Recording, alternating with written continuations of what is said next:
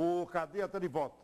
Policiais da DHPP desvendo. Olha, vamos prestar atenção. Tem uma, tem, aqui nessa matéria, nessa matéria, nós temos uma fala importante da delegada doutora, doutora Juliana. Tá? Doutora Juliana Palades. Preste atenção àquele caso que nós mostramos aqui, que o cidadão saiu para caminhar e mataram. Apareceu morto. Comerciante Fernando Barbosa, que está aqui. Morto após sair de casa para uma caminhada no Parque Cuiabá. O corpo dele foi localizado carbonizado na ponte do rio Cochupó do Ouro. O acusado pelo crime bárbaro está foragido. Veja bem a mente do ser humano. Se for tudo verdade e tudo caminha para ser, vamos acompanhar na matéria da Luciana Gaviria. Aconteceu no dia 4 de agosto, quando o Fernando saiu para caminhar, uma atividade de rotina que ele fazia praticamente todos os dias. A pista de caminhada era no Parque Cuiabá.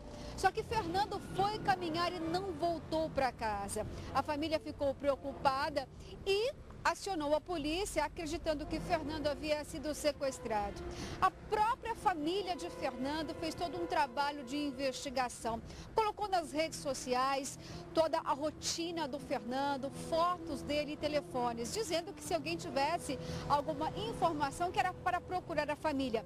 E os familiares conseguiram até imagem, interno, câmeras de segurança ali mesmo no bairro. E conseguiram encontrar uma imagem que revelava Fernando entrando num veículo preto. Desde então, essas imagens foram repassadas para a polícia, que conseguiu chegar até o proprietário do veículo. Assim que, o, que a família registrou o desaparecimento do Fernando, nós iniciamos o núcleo de desaparecidos aqui da DHPP iniciou as diligências preliminares. A família já tinha sido bastante diligente no sentido de coletar imagens de câmeras de segurança das localidades onde o, onde o Fernando passava. Como foi amplamente divulgado, ele foi visto com vida ainda entrando num veículo Siena de cor preta. Nós localizamos o proprietário desse veículo, onde ele confirmou que o veículo era dele, mas ainda disse quem era a pessoa que estava conduzindo. Nós então identificamos o possível suspeito aí do envolvimento no desaparecimento e morte do Fernando como sendo Luiz Aquino Pavão. Luiz Aquino Pavão, ele foi vizinho da vítima durante quatro anos, né? E teve todos os elementos de, de, de possibilidades, aliás, de de conhecer do desaparecimento do Fernando, de tentar contato com a família, de eventualmente dizer, eu dei carona para o Fernando, porque essa é a versão que ele apresenta através do seu advogado, que ele teria dado uma carona para o Fernando na condução do veículo Siena de cor preta e teria deixado ele nas proximidades ali de um motel na região do Parque, Parque Cuiabá. Então ele teve todos os elementos de conhecimento, ou seja, ele poderia ter chegado na família e falado, olha, eu dei carona para o Fernando e deixei o Fernando em tal local, mas ele não fez isso. Ao invés disso, ele fugiu de Cuiabá.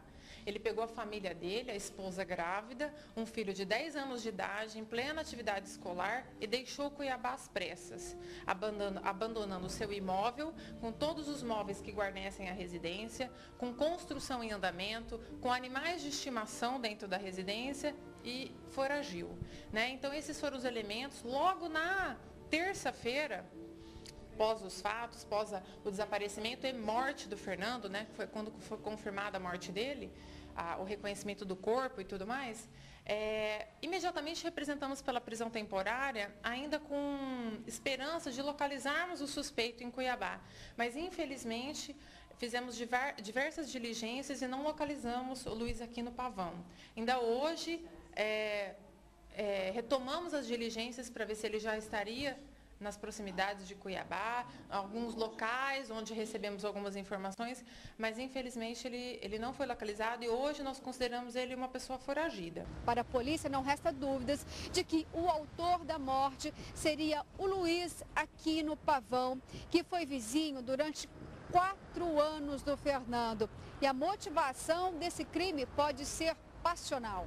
Nós estamos com uma linha muito forte de um crime motivado, é, um crime passional Né? Talvez o autor dos fatos, né, o suposto autor dos fatos, tivesse uma desconfiança de que o Fernando pudesse ter, estar dando em cima de sua esposa. E, e por, essa, por esse motivo teria, então, é, promovido o desaparecimento. Né, a, ele conduziu o Fernando, como ele já tinha conhecimento, o Fernando entrou dentro do carro, conduzindo, então, até o local onde possivelmente ele foi morto.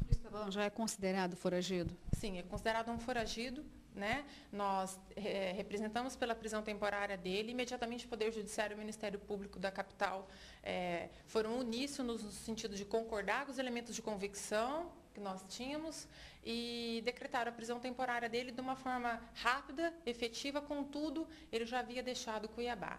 Então, hoje ele, através do seu advogado, disse que não se apresentaria né, para para responder a esses atos e para a gente efetivar o cumprimento da prisão temporária, razão pela qual então nós optamos por divulgar a sua prisão, a sua, o seu mandado de prisão e solicitar informações à sociedade que se ouvirem, se tiverem informações sobre o paradeiro de Luiz aqui no Pavão, entre em contato com a DHPP ou então com o telefone 197 da Polícia Civil. Com imagens de Valdeir Moraes, Luciana Gavilha para o Cadeia Neles.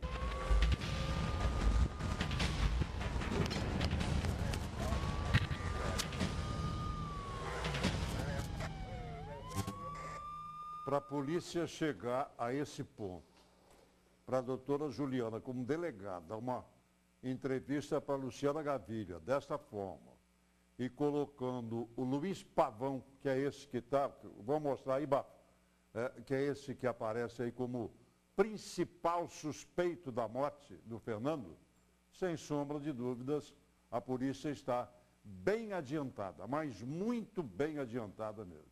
Tem uma outra foto que ele aparece melhor. É uma foto que é, é, ele está, acho que está sem camisa e tal. E o advogado né, deve demover o Luiz de não se apresentar. De não se apresentar. Está fora do flagrante. Agora não, agora tem a prisão temporária. Devia ter apresentado. Essa aí aparece melhor. Se você souber onde é que está o Luiz Pavão, ligue para 197.